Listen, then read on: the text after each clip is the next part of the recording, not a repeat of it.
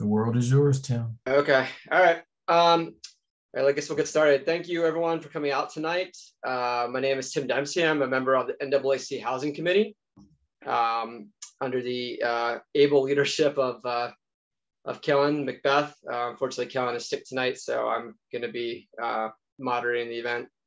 Um, so uh, I worked tonight to put together this event, um, which is kind of the second episode in what we hope is going to be a monthly-ish series of seminars on important housing and, and racial justice policies.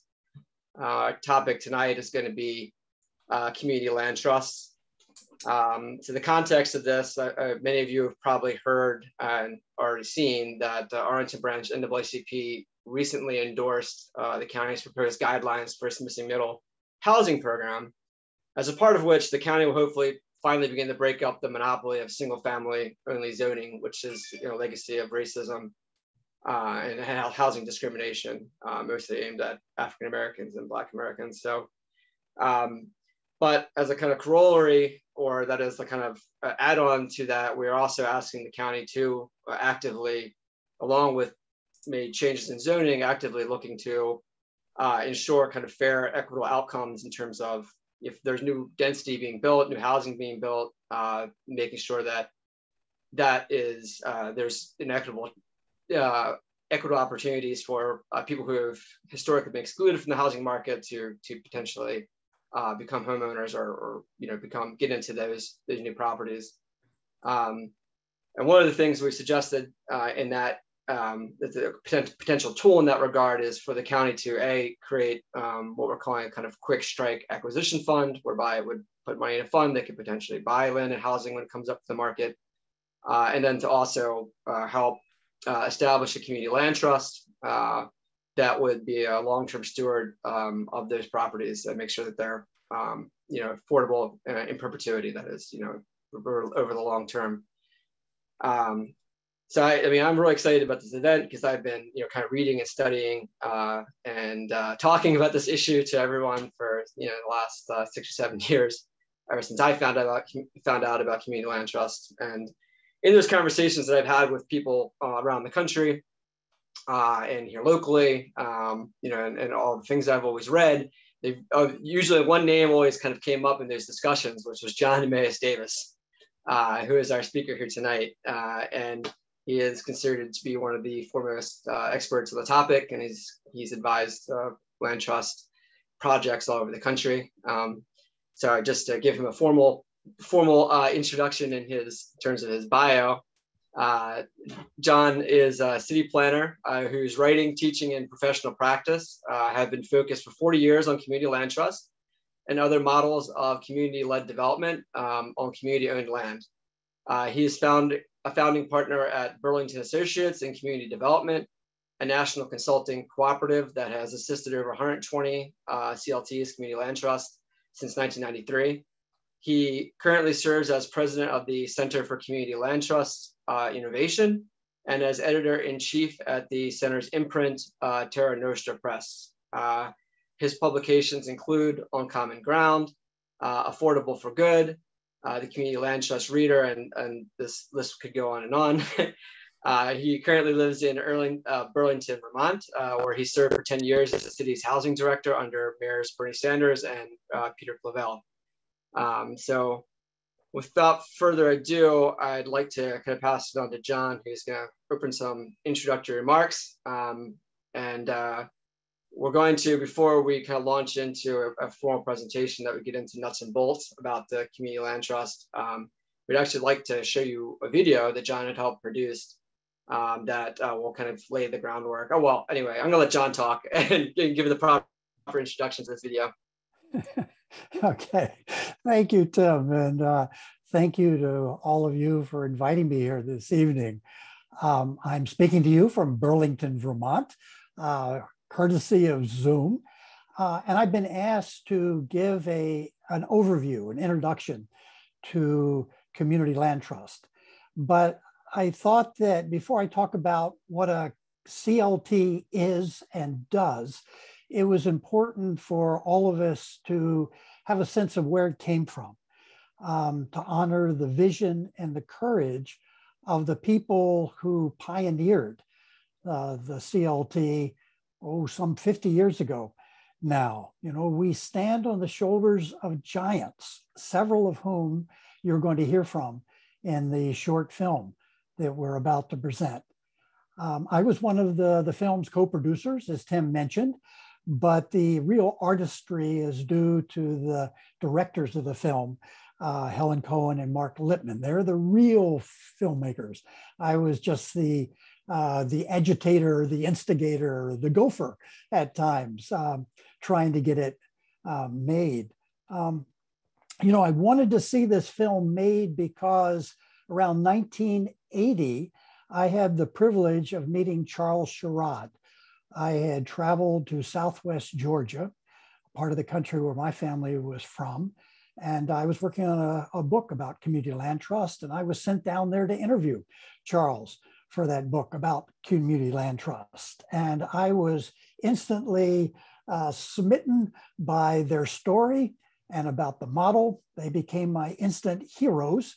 And I've spent the, the last 40 plus years uh, working on community land trust and telling their story. But I realized at a certain point that they were much better at telling their own story than I am, and I should get out of the way and let them tell their own story and their own powerful words because they lived it. They're the ones who created the Community Land Trust. So this film that you're about to see emerged out of that desire to let the people who created the model talk about the model. I should mention one other thing, and that is that even though we shot something like 10 hours of footage uh, in interviewing the people who, who are featured in this film, the film itself is only 20 minutes long. And the reason for that is that we did not want to make an art house film. We were not making a film to, uh, to be shown just on college campuses. We wanted to create a tool that organizers and activists uh, could use in bringing the story, talking about the model in their own communities. So what you're doing tonight is exactly the way we had hoped the film would be used. And it certainly is the way that Charles and Shirley Sherrod uh, had hoped the film would be used. So this is their story. Let's hear what they have to say about it. The name of the film is Arc of Justice. Okay, everyone, I'm going to attempt to share my screen to share this. Uh, people could potentially just um, make sure your mics are off um, and maybe even stop your video just to make sure we have good, good bandwidth uh, for it. Thanks.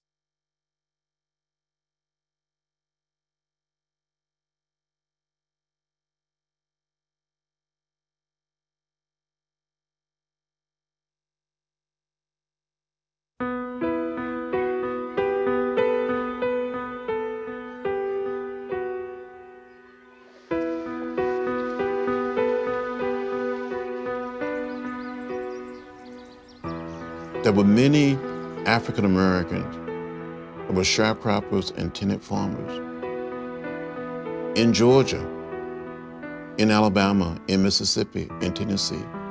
And when they attempted to register to vote, they were forced off of the land. They were living on plantations, living on some other person's land. You can help people fight for their rights, but when they don't have a base, when they don't have something that they own and they get kicked off the property, that's a really, really, really tough position. There was this growing feeling on the part of so many individuals and leaders within the movement that if you had your own piece of land, you could do things. You wouldn't be dependent on others.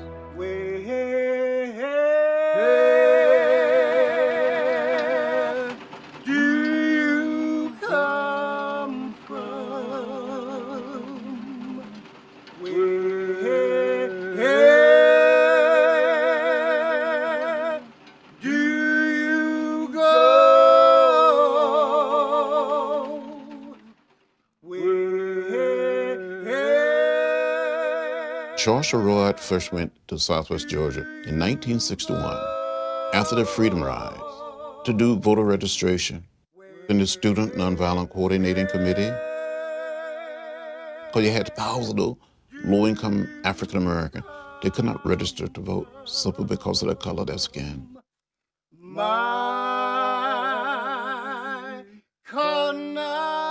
We were building a better life for our people. We were always doing voter registration, and that we were always doing direct action.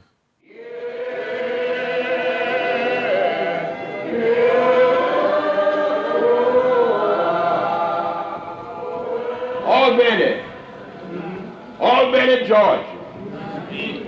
We have been called upon and have heard the voice of democracy saying, get up from where you are and go to a land that I will show you all. When they began to arrest us, we filled the jails in Albany.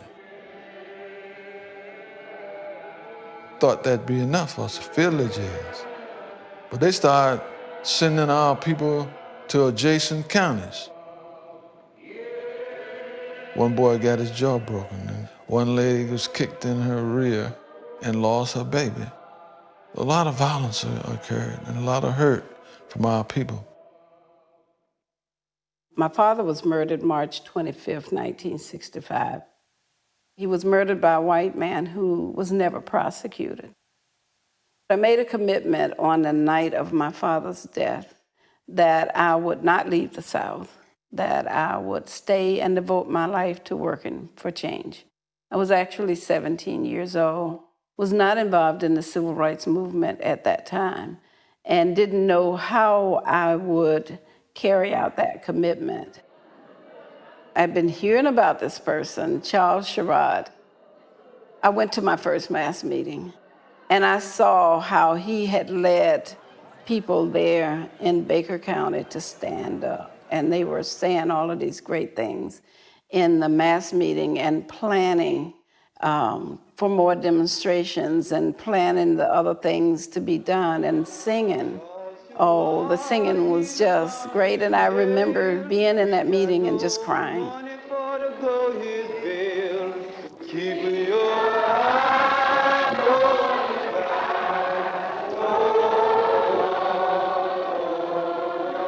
And I knew then that this was a way that I could live true to the commitment that I made. And by June of 65, we started the Baker County movement with the help of Charles Sherrod and others from SNCC. I woke up this morning in my mind.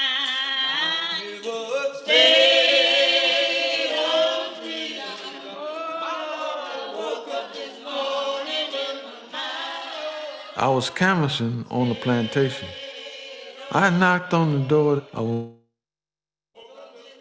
they promised me they'd come to the mass meeting. They comes to the church with their five children. They told me that they had been kicked off the plantation, had nowhere to go for the night. How many people whose doors I've knocked on got kicked out of their homes with their children, without a job. And I was the partially cause of it. So I lived in, in deep guilt and frustration. So that's how the spark of the need for land came to me. Seeing the land, uh, just the land itself, the beauty of the land, the purity of the land, and the acknowledgement that all power comes from the land, and the land comes from God. All power comes from the land. Absolute power comes from God. And that's my ministry. It's still my ministry.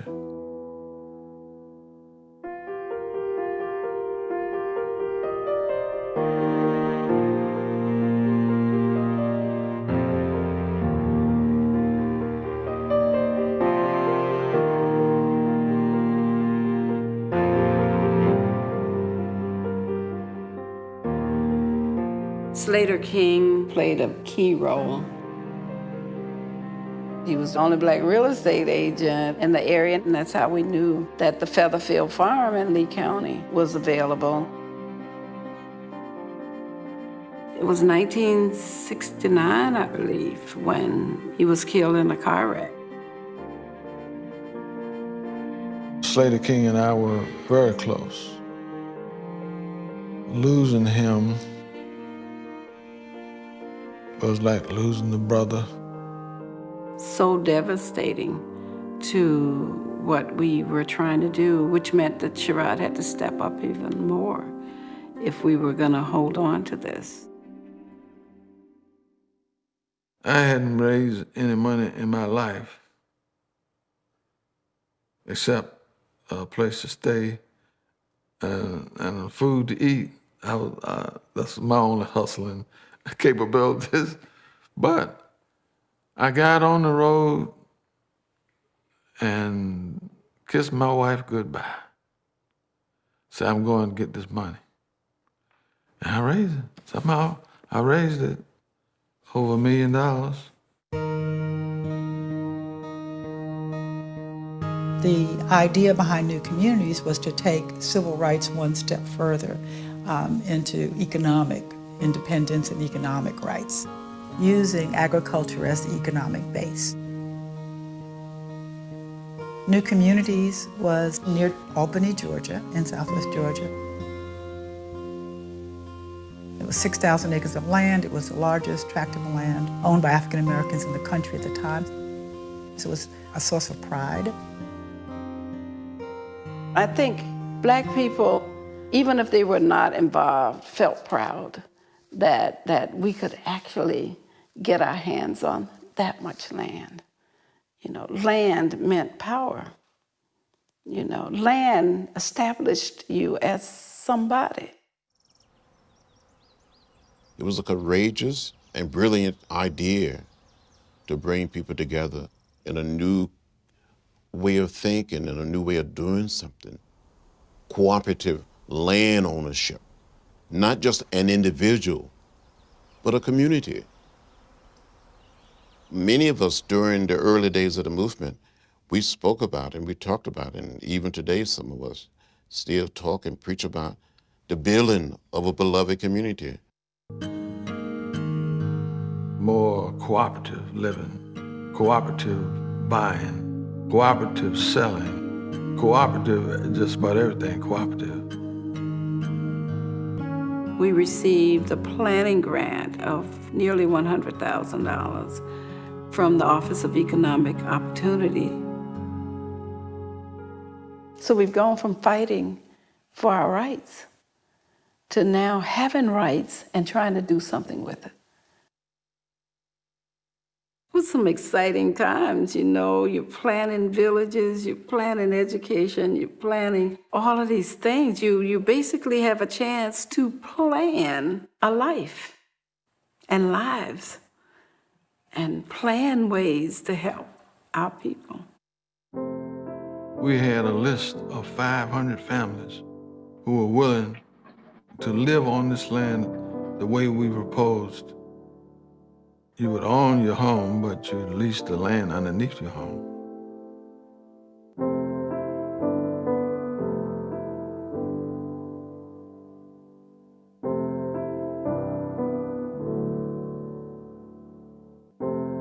Some of us were naive enough to believe that having been called lazy, not up to anything, ignorant, that white people would praise us that we're finally doing something for ourselves on our own, with our own money, with our own resources, and sticking together. Just didn't think people would fight you when you were trying to simply help yourself. You're not asking them for anything. So I was really shocked at the opposition.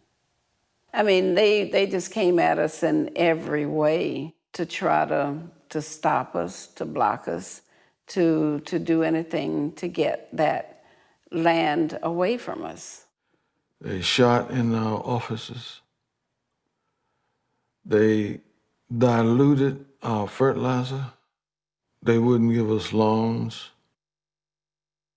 Washington had assured us that we would get the major grant to implement a lot of these plans that we had worked so hard to develop. But that didn't happen.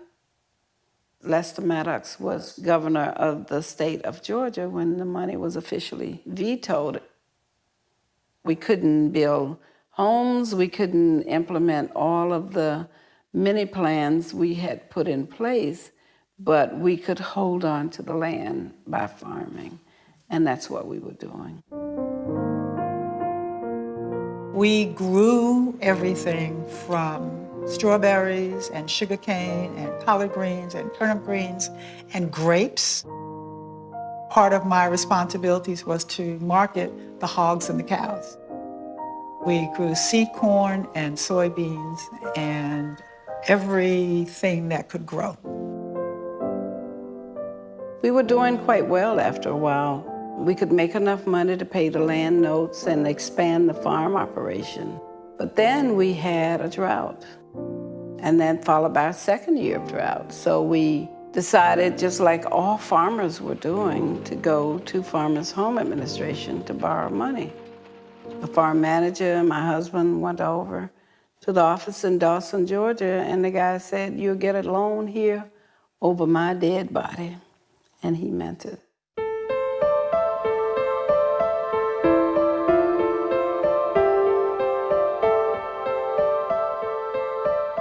We actually faced foreclosure, and Sherrod was out traveling around the country trying to raise money.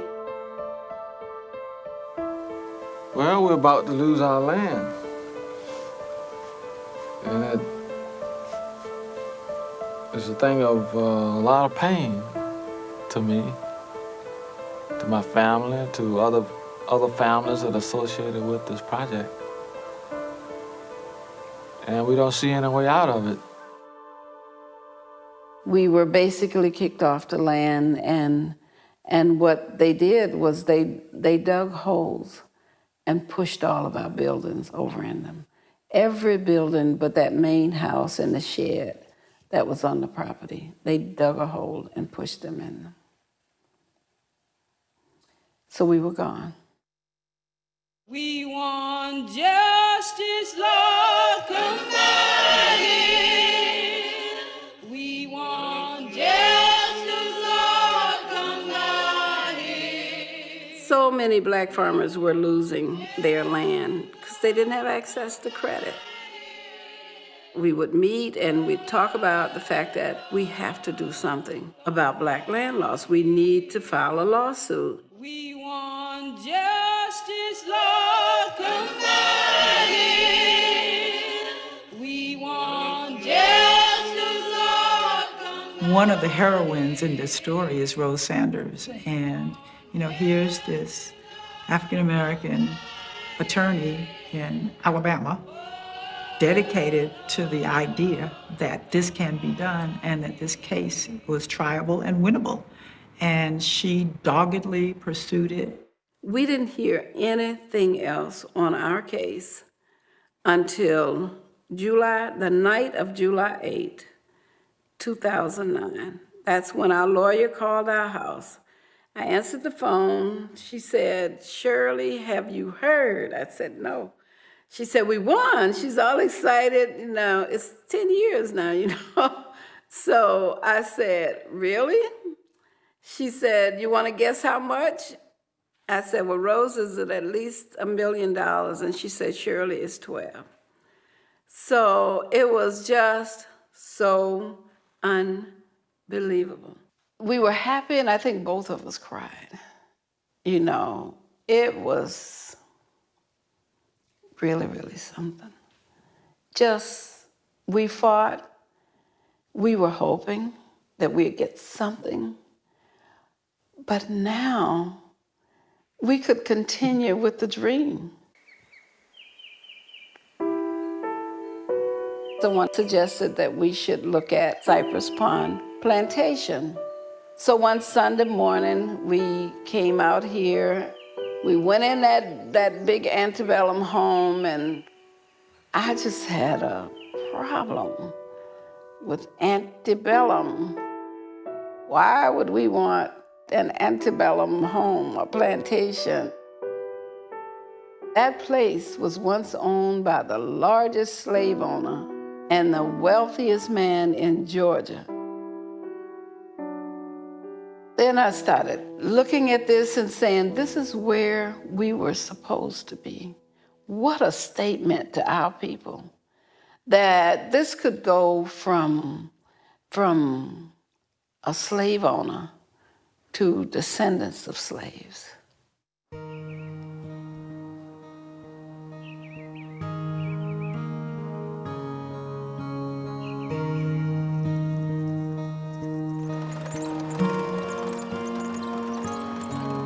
Just in the development stage.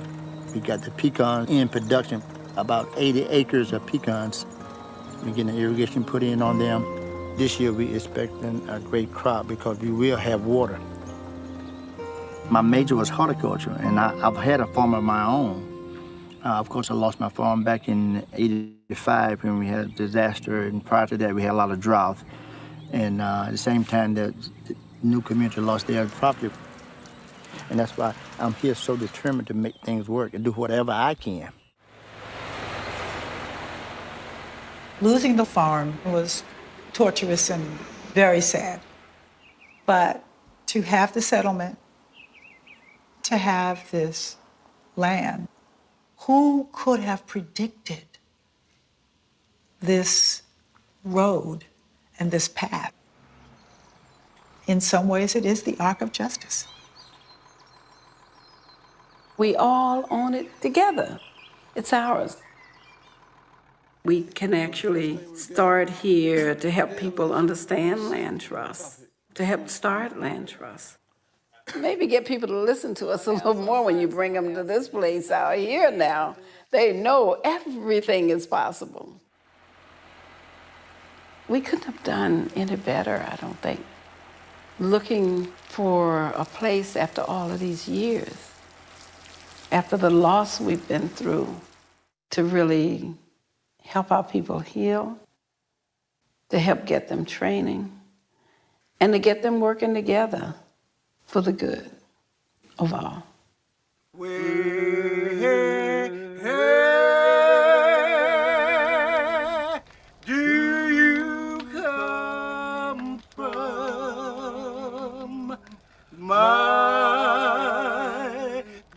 it hadn't been if for, it hadn't been for, what if it hadn't, been, for my Colorado? I, I, I, I would have been, been married a long time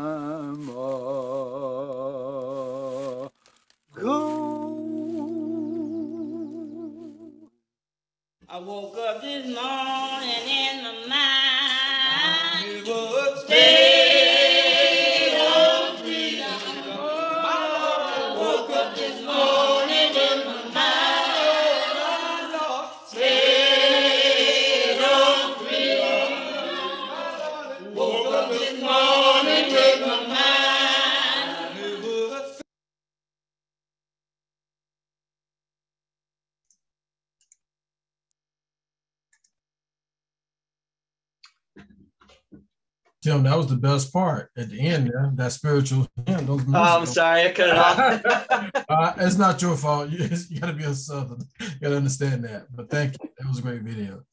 um, yeah, so I, I hope everyone, I hope it came across okay. Um, I wasn't sure after I started, I hit play, I was like, I hope everyone else is seeing it.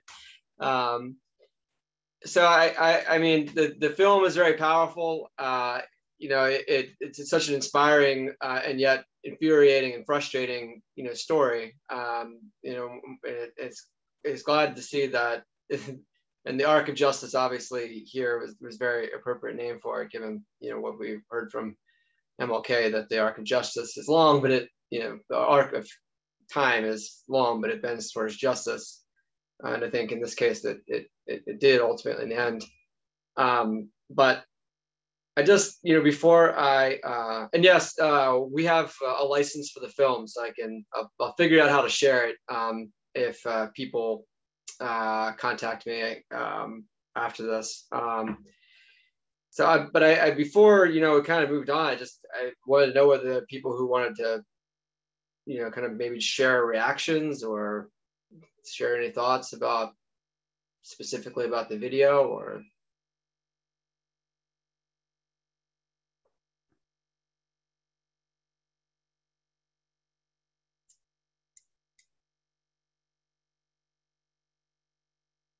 You have a couple hands coming up. Uh, oh, okay. Sorry. Uh,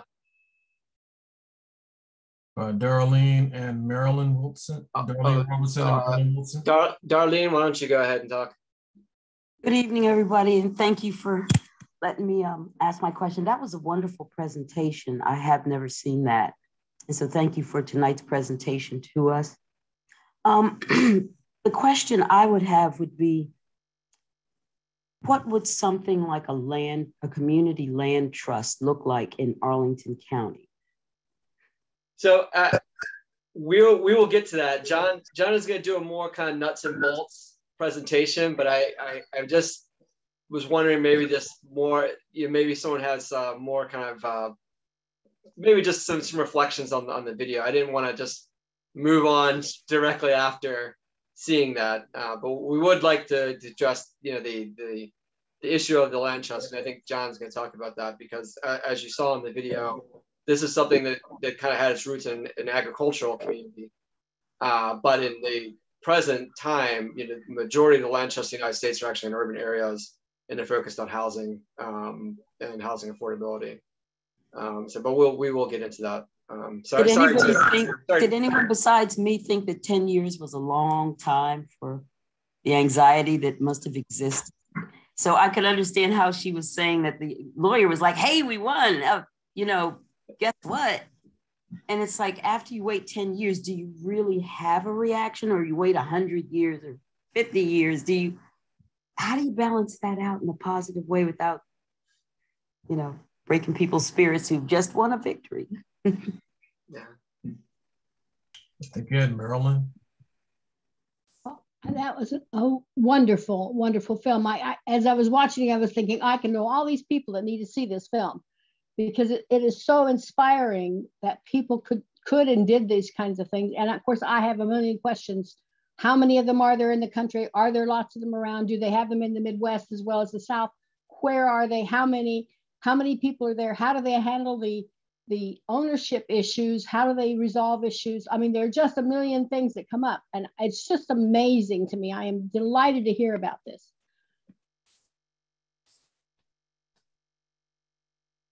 You're muted tim. You're muted dear timothy.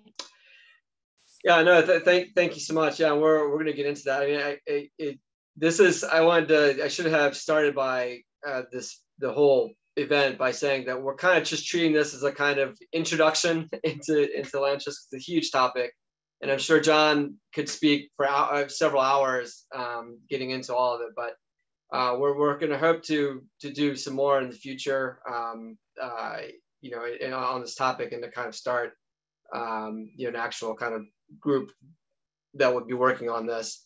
Um, so um, I, I, so I mean, on that note, I, am just going to uh, pass it over to John now, and he's going to kind of give us the overview of you know, what the community land trust looks like in the United States today. Okay, I'm going to attempt to share my screen, and let's see if uh, always a little bit iffy here, but we'll see if it works. All right, how are we doing? Can you see my screen there? You're good, John. All right, excellent. You know, when you when you do this, you're never quite sure whether the technology is going to work or not. Uh, so, well, I'm going to give a um, kind of a, a, quick overview. Even though Tim said I could talk about this for hours, I'm not going to talk about it for hours. Instead, I thought I would talk about uh, community land trust for about you know, 10 or 15 minutes and then leave a lot of time for your questions because this is the sort of thing that really lends itself to good questions, some skepticism. Um, how does this work? How does that work? So um, uh, I'm going to just kind of lay it out there and then we will have a conversation about it. Um, so we just saw the story of the first community land trust in the United States that was created in 1969. They bought their land in 1970. And when they bought that land at that point, this was the only community land trust in the United States. There had been some precursors, there were some conservation land trusts, there were a lot of uh, cooperatives, but this was really the first, what we think of as the modern day community land trust. So if you think there was one community land trust in 1970, there are now over 300 in the United States. There are a couple of dozen in Canada as well. The model has jumped the oceans, and there are uh, a number of community land trusts now in the global north. Um, in England, there are almost 300 community land trusts just in England. There are half a dozen in Belgium. There are 60 now in France, the French version of a CLT. And also, they've begun to develop in the global south. There is a wonderful community land trust in San Juan, Puerto Rico. Um, and they have sort of pioneered the model in the global south. And they've been getting on the road and traveling to Brazil. They have met by Zoom with people from Kenya. So you think this seed that was planted by Charles and Shirley Sherrod and M. Tanganyika Youngblood and those folks in 1970 has really borne amazing fruit across the United States and across the, the world. The organization that I work with uh, today, that I spend most of my time with, is called the uh, Center for Community Land Trust Innovation. And, you know, we use our website, we use our in house publishing company, and we do a lot of virtual gatherings. Uh, including World CLT Day. We will have the next World CLT Day in October of uh, 2022, in which we have folks from around the world that just volunteered to, to upload videos and photographs and testimonials uh, talking about their work. So, what started as one CLT and has spread out to CLTs all over the world is now kind of morphed into a worldwide movement of groups that are connected to each other and are supporting each other. So let's go back to the United States, though, and um, talk about the Community Land Trust as it's developed here and some of the features of the, the model. But I should also say that, you know, not every community land trust is exactly the same. They don't all call themselves community land trusts. They come up with all kinds of inventive names. Um, they're applied in different ways. They're applied in rural areas, urban areas, in suburbs, on islands. They do affordable housing. They do many different kinds of, uh, uh, of development, not just housing, as I'll mention in a moment. So, despite all of that diversity, um, you know, I would say there's kind of one generic definition that applies to just about all CLTs in one fashion or another. And this is kind of the elevator speech, the community-led development of com on community-owned land of homes and other assets that remain permanently affordable. And in that definition, you have kind of the key ingredients of the model itself. So let me talk about those circles that are there on your on your screen starting with, you know, what do we mean by the C in CLT? You know, it's not a community that together kind of owns the land or leads development. There's a nonprofit organization that is controlled by the community. So it's the nonprofit that actually owns the land, but it's the membership base that controls the landowner, that controls the nonprofit. That voting membership is made up of people who live on the land, in the housing that's on the land, and then people who do not directly uh, benefit from the, the land trust. They don't live on the land, they don't live in the homes, but they live within the larger service area that, um, you know, in which the community land trust works. From that membership, the board is nominated and elected. And most community land trust boards are divided into three parts with the people who live on the land nominating and electing a third of the seats, people who live in the larger service area but don't live on the land, they nominate and elect a third of the seats. And then they normally set aside another block of, uh, of seats for oh, usually you've got one banker there, you've got some housing professionals, you probably have a government official, representatives of other nonprofits or churches. So a lot of variety around the country of how CLTs have structured that board. But generally, there's a membership. There's a membership that elects a majority of the seats on the board, and the board is kind of split among interests to have a certain balance. Now, most community land trusts in the early days in the United States were started like new communities where they were started from scratch, a brand new nonprofit corporation.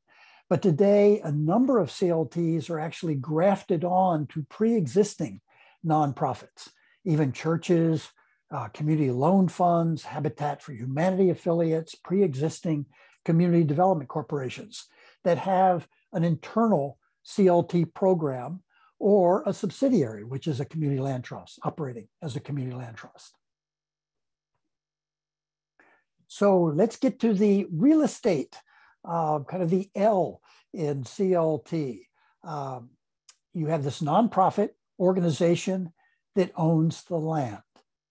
But then anything that's built on the land or any buildings that were on the land when the land trust acquires the land are sold off sold off to families, to another cooperative, to nonprofits, even to for profit businesses. And what knits those interests together is a long term ground lease. So the owner of the building holds a deed to the building, but holds is a uh, has a ground lease for the land underneath his or her feet. Okay. And that lease is not your typical landlord tenant agreement. It's very long term, typically 99 years. The people who own the house, own the building, can get a mortgage both for the house, despite the fact that they don't own the land underneath. So it's mortgageable. And you can pass on your right to own the house and your right to occupy the land to your heirs. It's inheritable. Now, the example that I just gave you was a single family detached house on its own piece of land, right? And in fact, CLTs around the United States, around the world, are doing a lot of single family houses, but they're also doing condominiums on leased land and limited equity housing cooperatives and rental housing. There's a lot of tax credit rental housing being built on land that's owned, managed by community land trust. And it's not just housing. Across the United States, community land trusts are also doing commercial buildings, um, facilities, service facilities. Um, there's a picture of a commercial greenhouse, the community land trust that the Dudley Street Neighborhood Initiative operates in, uh, in Boston. Parks, urban agriculture. I have a uh, logo for Bogas. That's a, uh, a gas station that is uh, was developed by a community land trust in uh, Bolinas, California, and then a movie theater in uh, in St. Louis. Basically, anything you can do on land, anything you can build, develop on land, has been done by a community land trust somewhere in the United States. Now, the question is, why does a CLT hang on to the land? It sells off the building, but why does it hang on to the land? Well, it's first because it gives the membership that controls the nonprofit an opportunity to basically say what should happen to this land, how should it be used, who should it serve. But not just who should it serve now, but who should it serve generations down the road. Sustainable development and equitable development go hand in hand in the community land trust. It's not enough just to build something good it's not enough just to serve people, boost them into home ownership, create something new on that land if that's going to be lost over time. So the land trust wants to hang on to the land, not only to give low and moderate income people access to the land and what's on it, but also to make sure that those gains are not lost over time. This is kind of the T in CLT. It's really, it's, you know, the land trust is not a trust per se, it's a nonprofit. But we, the T in CLT, the trust comes from the property is entrusted into the care of the nonprofit. It has responsibility for what is known as stewardship. And stewardship has three faces in the CLT. It hangs onto the land, it does stewardship, it watches over the buildings on the land in order to preserve the affordability of those buildings, one owner after another. In a homeownership situation, it's one homeowner after another, preserving the affordability time after time, owner after owner. Also stands behind the house to make sure that it is kept in good repair. And it stands behind the occupants of the building so if they get in trouble, if the bank comes knocking at the door to try to foreclose on that house because that family has fallen under bad times, the land trust has a durable right to step in, to intervene, to slow down the foreclosure process and try to protect the security, the equity, the home of the people on the, on the land. The shorthand for stewardship, um, I thought this was the, one of the best quotes that I've seen in the, you know, one of my colleagues in the CLT movement from Connie Chavez. She says, we're the developer that doesn't go away. And the reason the CLT doesn't go away is because of the experience that many, many housing programs, many community development programs have had uh, over the years around the country, where there was the belief was, well, you know, you could protect affordability just by slapping an affordability covenant on that. Sell off the land, sell off the building, slap on a deed covenant that's going to protect the affordability, one homeowner after another, and that will be okay. But you know, the fact is there is no such thing as a self-enforcing deed covenant. Okay, well, people think there are, but it doesn't work. There are many, many ways to get around those covenants. So the main reason that the CLT hangs onto the land is to be the active, diligent, watchful steward, not only of the land, holding it and managing it on behalf of its community, but also watching over the buildings on the land, protecting affordability, the condition, and protecting security of tenure. So, why is there support for CLTs around the United States? Um, quickly, they're kind of three points of view on that. We can dig into it a little bit more. But in more affluent communities, more affluent neighbor neighborhoods, the real impetus for creating a CLT comes from a kind of a dual concern for how do we serve the missing middle? How do we try to provide affordable housing and homeownership opportunities for those families that earn too much to qualify for most public support, most homeownership, most rental assistance. Um, you know, but they still don't earn enough to jump into the market. It's also being supported by affluent communities who worry about the fact that some classes and races are being excluded from their neighborhood. So if there's a commitment to diversity, then they're embracing this idea of the CLT. Excuse me. In less affluent neighborhoods, there's been activism around CLTs to create a CLT so that if the neighborhood improves because of the organizing, the efforts, the development of nonprofits and citizen activists, you don't end up displacing the people who lived there when everything was bad. You know, you improve conditions, you improve the neighborhood, and the first thing you've done is you've made that neighborhood more attractive to investors, speculators, people who want to move in there who have more money than the people who lived there before. And then the third reason that there's a lot of support for community land trust around the United States is actually coming from government officials from above or from activists from below who say, you know, we have to stop putting money in to affordable housing, into community development. We have to stop using the police power of inclusionary zoning, giving density bonuses, tax incentives to try to create affordable housing, only to see those subsidies lost and those homes lost on first resale. Five years, seven years down the road. So CLTs are being adopted as a vehicle to, excuse me, to kind of plug the hole in the leaky bucket. Okay, well, I'm losing, I'm losing my voice, so I'll stop at that point.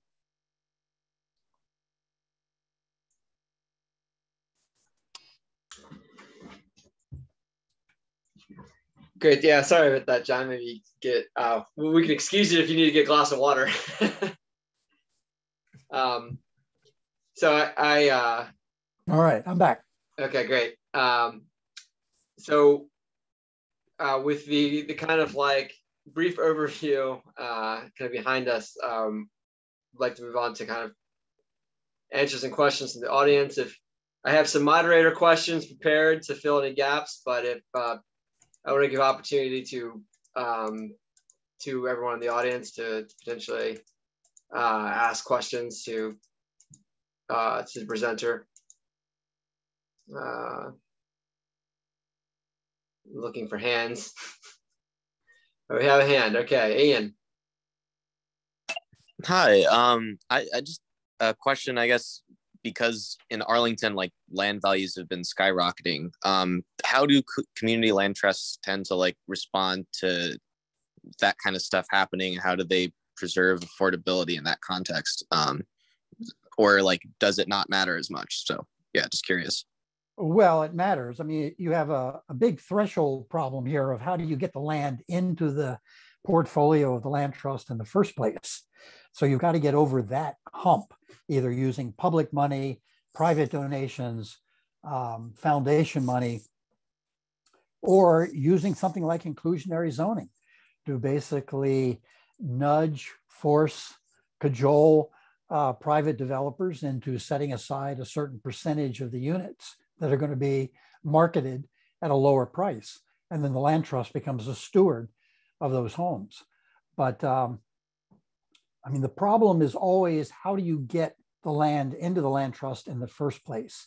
Once that happens, the land trust, through the vehicle of you know continuing ownership of the land and the ground lease, is a very, very effective, durable instrument for enforcing, protecting affordability over time. Um, Tim, you have three um, hands raised. All right. Uh, how about Anthony? Sure. Thank you. Uh, yeah, thanks for such a uh, comprehensive uh, but relatively brief presentation. Um, the, brevity, uh, brevity is a virtue, isn't it? Well, it definitely is, but I, I but it means that uh, I didn't quite understand uh, how land trusts prevent the loss of homes created by inclusionary zoning, uh, density bonuses, and tax incentives. Could you elaborate a little bit on that, please? Yes, of, of course. Um, in most cases, um, the community land trust is given by the municipal government that is either given the tax break or imposed inclusionary zoning, um, given a density bonus. The land trust is then given the first right to purchase those units at the below market price. Yeah. Mm-hmm. Um, and then they act as the steward over time.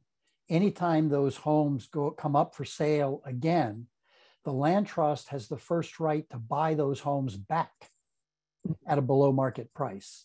And then they turn around and sell it to another moderate income family. Um, so one resale after another is managed by the community land trust. And because it has the right of first refusal, that prevents what? It well, it has the right of first refusal, but it also has a fixed price option to repurchase it. Right. So it's not only uh, the first right to meet and match the market price of the house, it's a right to repurchase it at a formula determined price that is built into the ground lease. Yeah. And if that right didn't exist, what would otherwise happen?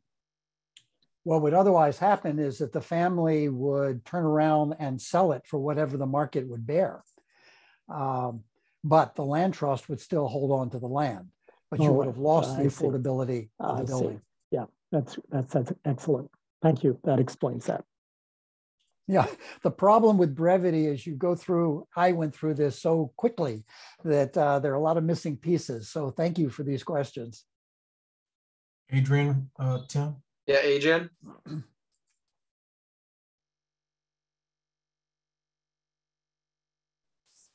Uh, Adrian Fikes, are you there?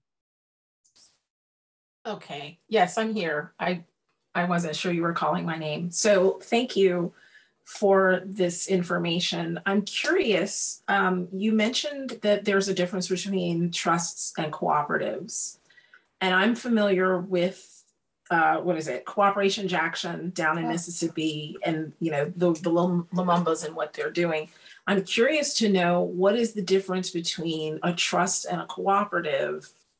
And then the second part of that is if I wanted to begin a trust, how would I even like the land is there? How do I begin making that happen?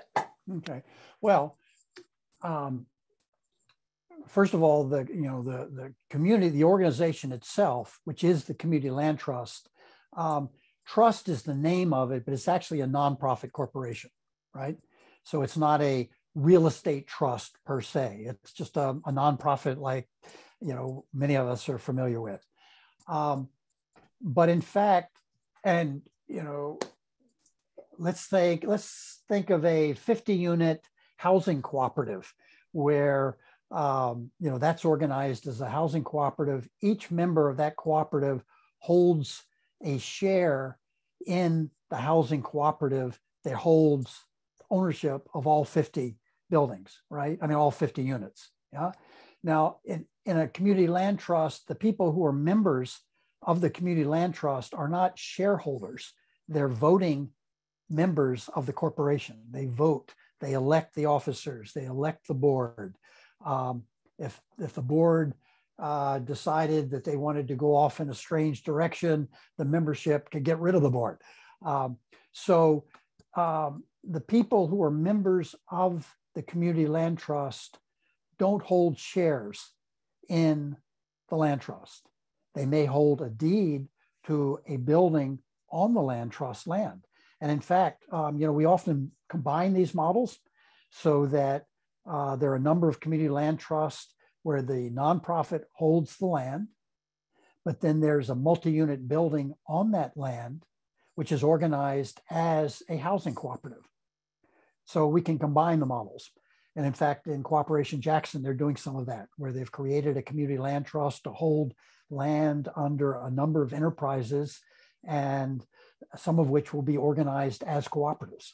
So you can combine the models.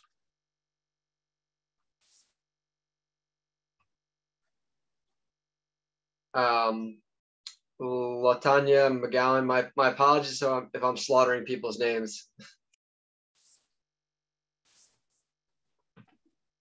You're muted, Latanya. You're muted, Latanya. Oh.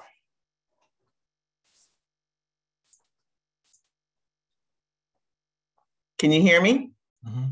Yeah. Okay. Yes, Hi, everybody. I had some of the same questions that Adrian had, um, but I do have a couple more.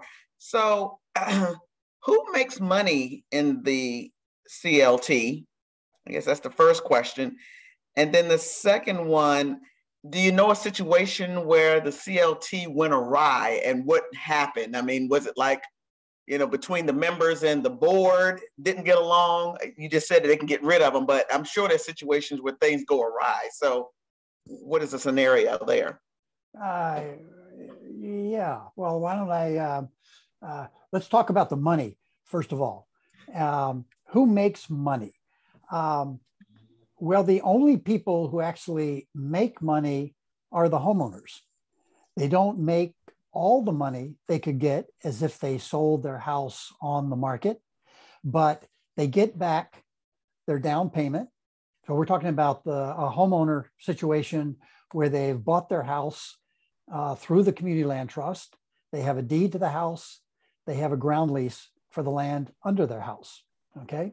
They've lived there five years, seven years, whatever, as long as they want, but they decide they want to resell. At that point, they notify the landowner, the community land trust, that, look, I have an intent to sell. I want to sell my house. So at that point, the land trust looks into the ground lease, looks at the formula that everybody agreed on when they moved into that house, and said, all right, we're going to buy your house back from you we're going to give you your initial down payment. You get to walk away with all of the principal on your mortgage that you retired. You get a capital improvement credit if you put in a, you know, if you added a bedroom while you were in the there, you built a new bedroom, you get back that money. And we're going to give you a piece of the appreciation. We'll give you, we'll give you an inflator. Um, so you're going to walk away with more money than you ever would have walked away with if you had taken that same down payment and put it in a bank account. Mm-hmm. But you're not going to walk away with 100% of the market price of the house.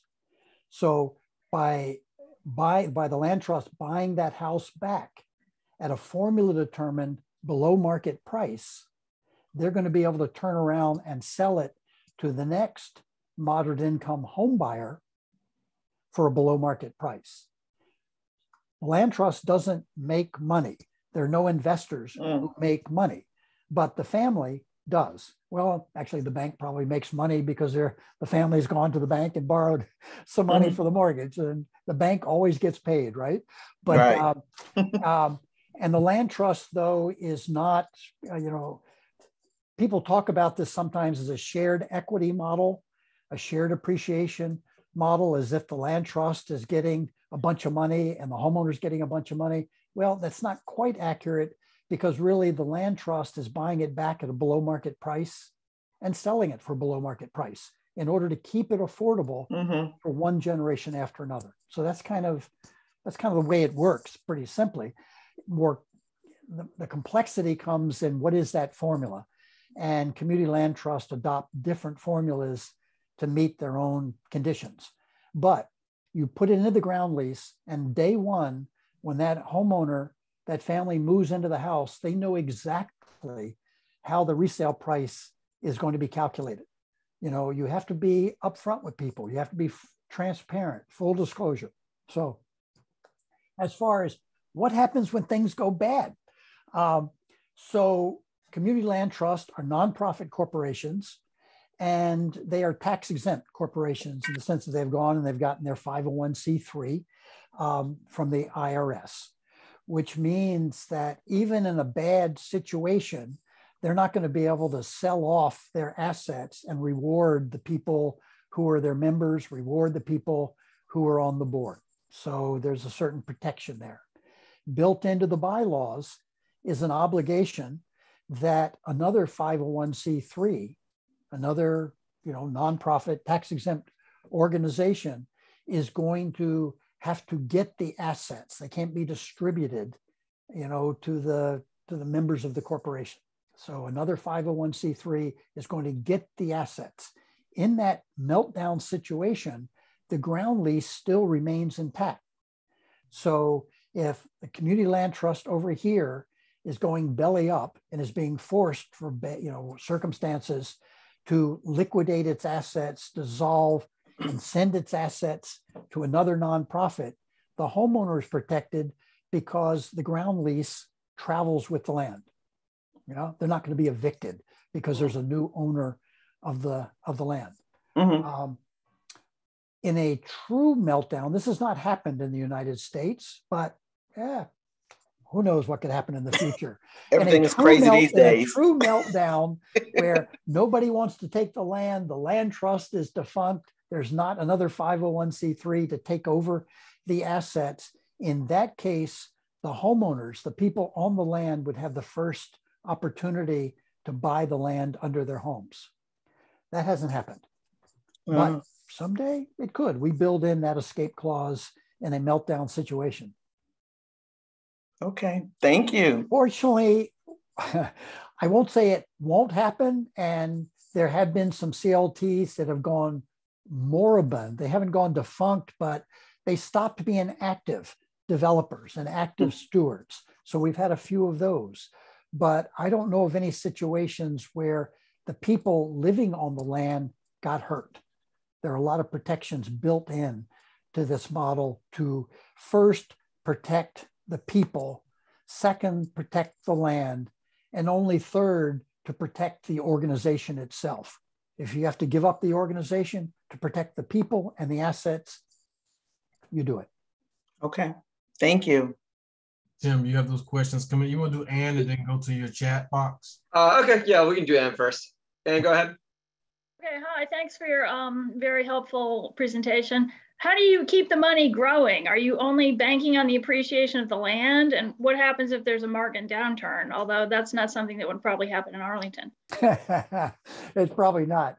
Um, uh, well, um, let me let me think about the best way to uh, to say that. I mean, the you know a homeowner is is somewhat protected against the downturn in the market.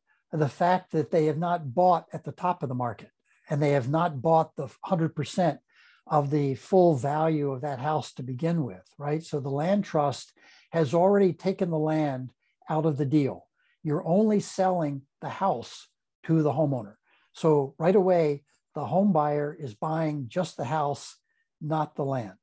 Secondly, um, in order to make that house affordable to a family at 80% of area median income, say, just to pick a, a, a target, the land trust has probably had to go out and get another subsidy to subsidize it even further. And then, of course, on the longer the house stays in the system across one resale after another, that house becomes even more affordable relative to the market. So even in a downturn, the equity of the homeowner is not wiped out.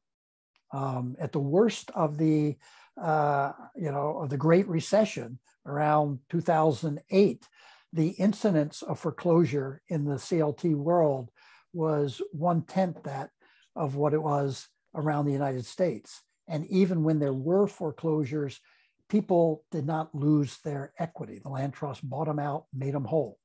Um, so, uh, as far as how do you make it grow, um, you know, the land trust can only. Uh, well, let me let me see if I understand your question. Are you asking how does the land trust continue to buy more land and to expand and to grow that way, or how does the original investment in the land trust grow? Can you give me a Well, sense? how of- do you keep a cash flow, positive cash flow for the land trust? Which ah, I ah, ah, ah. That's yeah, that's a great question. Um, so the, the way the land trust pays for its own operations is first they're charging a lease fee for the land underneath the house. It's not a market rate lease fee, but you know they are collecting something every month um, so that um, you know they have a stream of income to help cover their cost of being a good steward over the portfolio, over all the homes, all the land that they hold. Secondly, at the time of resale, they're managing the resale and they're going to turn around and resell the house at a below market price. But as any realtor would, they're probably going to take like 2% of the sale price out at that point to pay for their own cost of managing the, the resale, of overseeing it. Um, and then other CLTs have arrangements with their local governments that if the CLT is going to be the steward, you know, the watchful steward over inclusionary units or units that were created through density bonuses or investment of, of public subsidies, then there are many CLTs that are receiving uh, an annual fee from their local government to play that role of protecting the affordability that the municipality helped to create. Um, other CLTs are working with local lenders. Um, if they're going to help low and moderate income people become mortgage ready, then they're uh, able to collect a fee from local, uh, sometimes from local uh, banks to bring mortgage ready buyers, you know, mortgage holders to the to the deal. So it's a whole variety of ways that they're covering their own cost. You know, it's a lot of streams of, uh, of a little bit here, a little bit there in order to support the organization. Thank you. I will say um, a number of CLTs are not just doing home ownership, right? They they have a diversified portfolio of rental housing and commercial property, and they're looking for ways to take um, some income out of those deals as developers, as managers of commercial property, of rental property, that sometimes, I mean, that will cover some of their staff costs that then will be used for other activities like being a good steward for the home ownership units.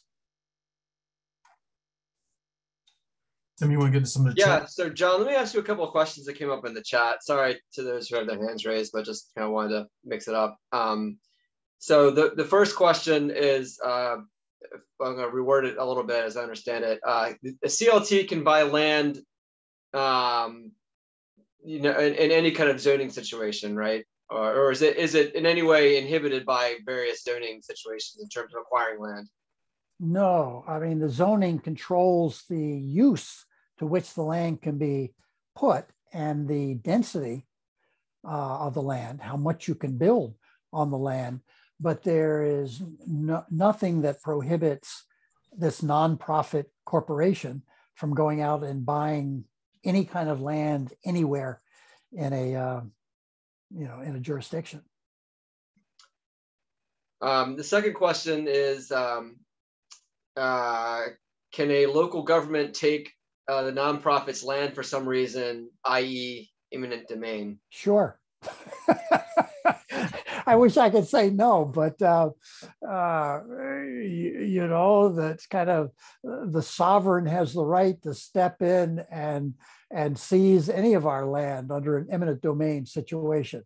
Uh, but in that situation, if the land trust land was seized, just like with any other uh, property owner, uh, where a, a municipality has exercised the power of eminent domain, the municipality would have to pay the land trust for that land that is being taken and pay a fair market uh, price for that land.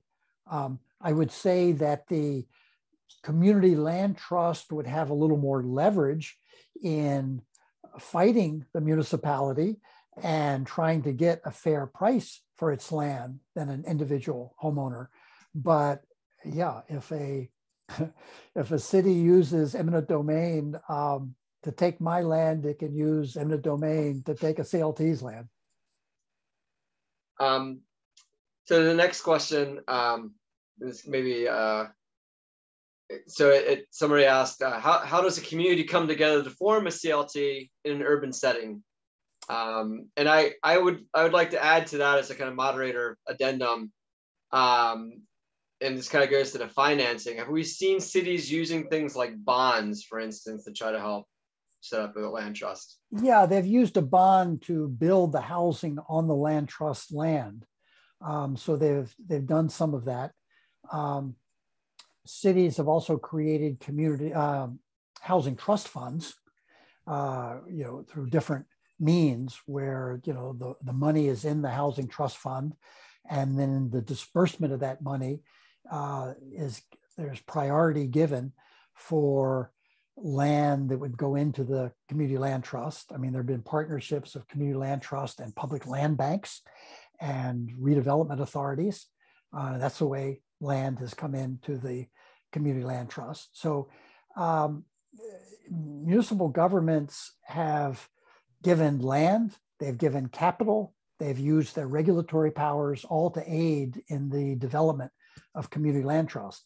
As far as how are they planned and how are they created, it's really a matter of concerned citizens coming together and um, being a de facto planning and steering committee to put together the blueprint for what their community land trust would be.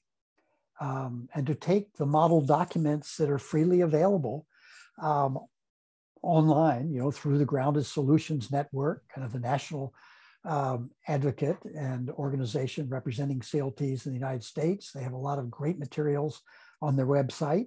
The Center for CLT Innovation, we have a lot of free materials on our website. So, you know, steal our ground lease, please. You know, take the ground lease, take the bylaws, take the articles of incorporation, and then tailor them to your own priorities, your own conditions, circumstance. You know, this is not a Kentucky Fried Chicken franchise where every CLT looks exactly alike. Um, you don't have to follow a set of, of recipes to do this. I mean, you really kind of come together as a community and craft the community land trust that you want and you decide what you want it to do. Um, so we're, we're, we're kind of coming up in time, but I don't, John, do you have maybe a couple more minutes, maybe take a couple more questions or? You know, of course, it's uh, kind of up to your energy and your endurance here more than mine. Okay. I, Oh, I had okay, a, a fr- I had a colleague once that said, you know, it takes a lot more energy to listen than to talk. Are, are are you okay with that plan, JD? A couple more Yeah. questions? Yeah, let's go until um we'll, we'll go to eight forty-five. Is that okay, John, David? Of Mr. Davis? course. All Yes, right, sir. yeah, Let's do that. Okay, uh, let's take some more uh, audience questions here. Uh, Valerie Smith.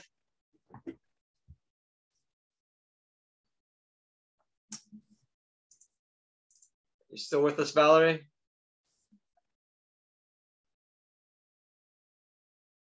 I was trying to unmute myself. Can, can I be heard? Yes. yes, ma'am. Okay, thank you, uh, John. Um, I, I find your information very intriguing. Um, and one of the things that uh, I listened to very attentively uh, to you when you talked about white neighborhood support for CLTs. And uh, you gave those three options. You know, you talked about the affluent, uh, the not so affluent community, but also you talked about government.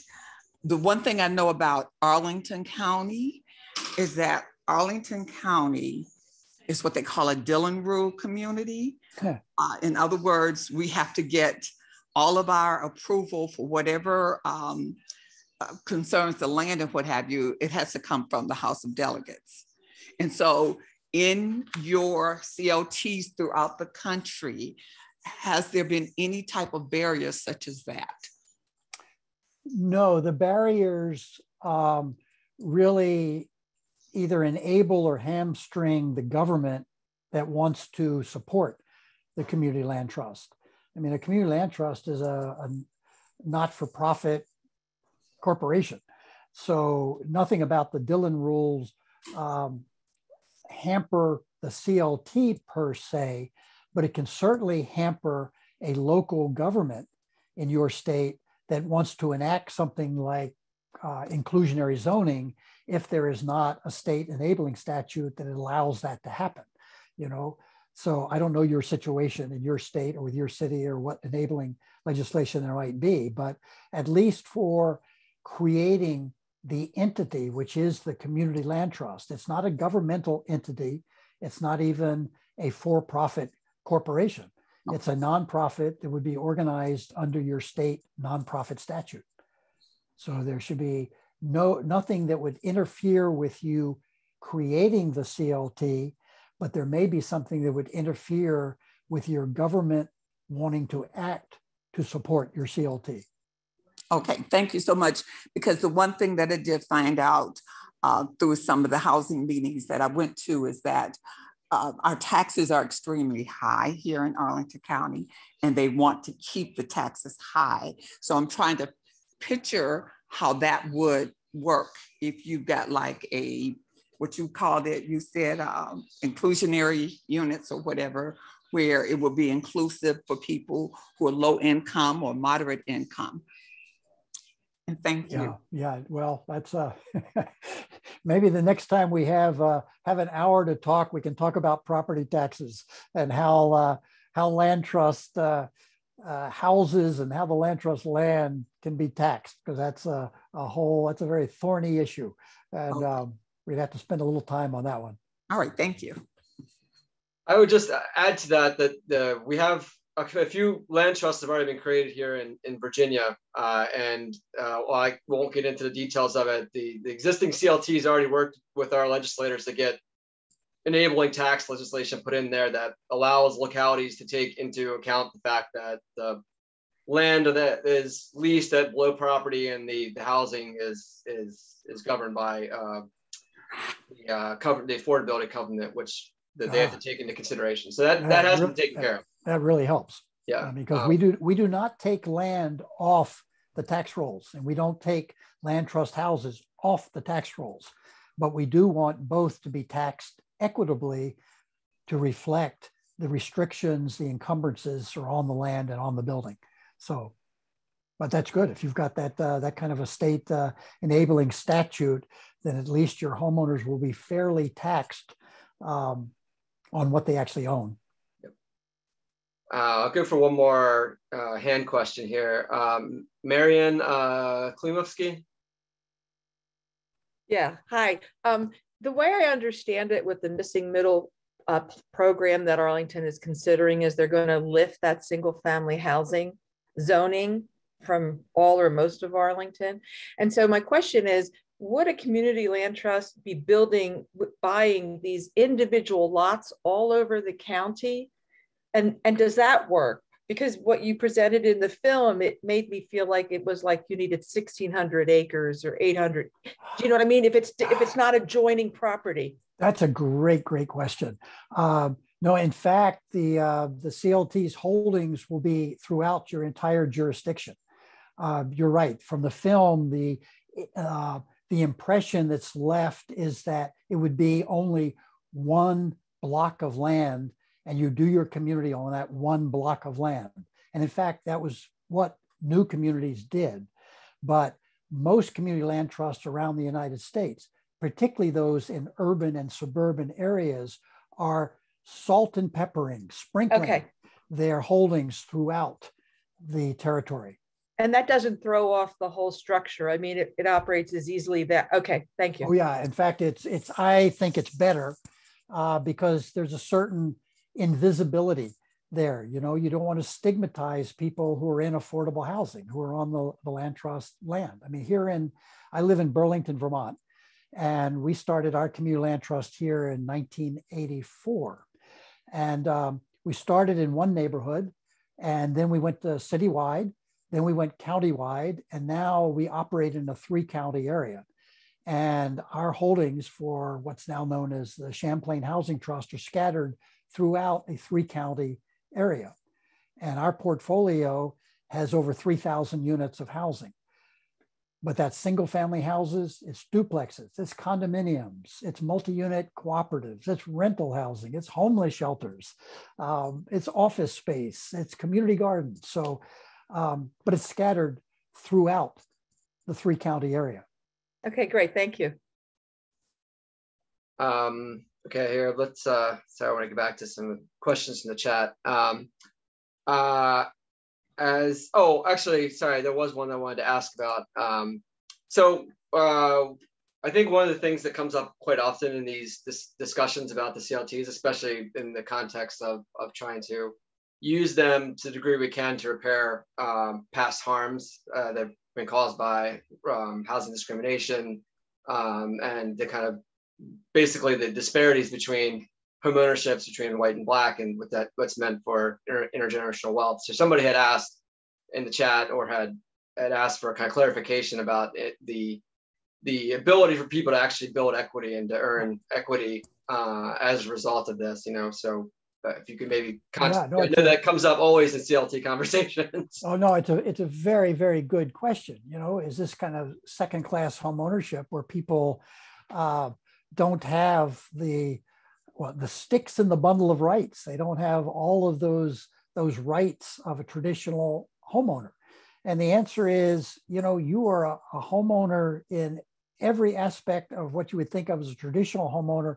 It's just that you can't walk away with all of the subsidy that's been put into your house and all the market appreciation. But you do build wealth. You do walk away with a lot more money than you had when you got into this deal. In fact, in most CLTs, when you resell your house, you walk away with enough equity and enough longevity of tenure where you've repaired your credit, you've built some wealth that you're able to leap into market rate housing. And we actually studied that here in Burlington. You know, we've been around since 1984 and we've had hundreds of resales. And we, we asked ourselves, well, what happens to these folks when they resell their homes? And we discovered that uh, two thirds of them, uh, when they resold their house back to the land trust after five to seven years, um, they had enough equity that they then could leap into the market and become a market rate homeowner with no restrictions, you know, just a traditional homeowner with no resale controls whatsoever. Um, another bunch of them bought another house in the community land trust. And then some decided they wanted to go back to being renters, that home ownership was not for them. But, um, but they did build wealth. And the majority of them, two thirds of them, built enough wealth that they could leap into the market. Whereas five, seven years earlier, they had no ability to buy a house on the open market. I'm gonna I'm gonna try to ask a couple of questions that I think you can answer quickly before I try to ask you a larger one. Um, have churches donated land for CLTs? Yes. Yes. Uh, Churches, government, nonprofits, individ- wealthy individuals have donated land for CLTs. Uh, another one from a realtor. Um, do lenders fund this type of housing? Yes. Oh, yeah. I mean, all of these, um, uh, you know, all of the home ownership homes in a CLT are mortgaged through private lenders. And most CLTs also use realtors, um, you know, to, to help with the buying and the selling of the property. So, in many respects, so yes, you can mortgage it. Um, you do use private attorneys. You do use private realtors in these uh, in these deals. Um, another one that you can probably answer quickly. Um, do do land trusts ultimately enable people to go buy on the open market or the or the, the regular Yeah, market? um, a majority that resell do buy on the open market. Um, and so here's a longer one uh, that's interesting. As CLTs age, how are continuity and succession planning ensured? Are you seeing smooth? Are you seeing smooth transitions in recruiting of new board members, similar to nonprofits or family farms? Do you see later generations not as invested as the founders? Uh, well, I mean, succession is an important question, you know, of uh, making sure that the next generation is just as vested as the one that created the CLT in the, in the first place. Um, what renews the CLT is the fact that um, as homes turn over, you've got a new group of homeowners who come into the land trust who are younger, more energetic, more vested in making sure that the land trust works. Um, and, but land trusts, you know, have to constantly cultivate their membership and involve their membership, grow their membership over time. But remember too that we break the board into three parts in the traditional CLT. So no one part has control. So you're having to kind of renew and re-engage each one of those segments, the people who are in the homes, the people who live around the homes, and then a, a group of, you know, do-gooders and professionals who, uh, who are appointed to the board for their professional skills. All right, uh, I think that's it for the the chats. Uh, Anthony, did you want to have a follow up question? Yeah, make that. Uh, this will be your last, the last one. Tim, we're right at eight forty three. Okay. Sure. Yeah, yeah. Um, John may have almost answered this uh, just now, but uh, I wanted to ask, in his experience, what really drives the success of a CLT? Is it is it the homeowners or is it uh, an enthusiastic, um, uh, enterprising sector? You know, with shops uh, uh, in the CLT, or what is it that you know keeps it from becoming um, lackadaisical since there isn't anyone with a really powerful profit motive there. Right, but there's also nobody who's got a balance of uh, you know majority on the on the board. Um, you know, it's a kind of a balanced board, Mhm. right? You've got that three part board, and you're trying to energize and renew each one of those blocks to keep Yeah. them involved. You don't want any one interest group to be able to stampede the organization. So Mhm. you've kind of divided the thing into a, a balance of, uh, of, of seats. But, um, you know, you've constantly got to renew, you got to bring new people in um, from each one of those blocks. Um, so it's, you you got a balance of interest, you know, it's a three part board. Yeah. Superb presentation. Thank you very much. Well, thank you. Thank you for inviting me. And, um, you know, you've got some wonderful, skilled people in your area that uh, that you can work with on this. The, the Douglass CLT is, is near you. Um, the headquarters for the national organization, Grounded Solutions uh, Network, is there in Washington, D.C. Tony Pickett is the executive director, who is a talented, brilliant, articulate leader of that organization. So you've got some real skilled people right there in your backyard. Great. Um, thank you so much, John, for uh, for giving us so much time tonight and spending you know, sharing so much of your expertise. Um, you, you did not disappoint. um, you know, we look forward to continuing the conversation and, and continuing uh, advocacy on this issue uh, as the housing committee and hopefully bringing in more people from the community um, in order to, to kind of make this uh, something that the county hopefully will take a, a hard look at. Um, and thank you to everyone who attended tonight. The questions were great. Um, know, great enthusiasm. Um, I don't know if the Julius, if you have any closing words. Uh, John, we thank you for, for being with us this evening. And as Tim alluded to, this has been amazing. You know, here at the branch, we try to do some varied programming for our members and, and those in the uh, community. And this ranks right up, right there at the top. So thank you for your time. Really appreciate you coming out and being with us tonight. And uh, back over to you, Tim. Well, I, I, I think uh, I think we can we can close it out. So once again, thank thank you, John, and um, thank you to everyone who came out. And uh, have a good night.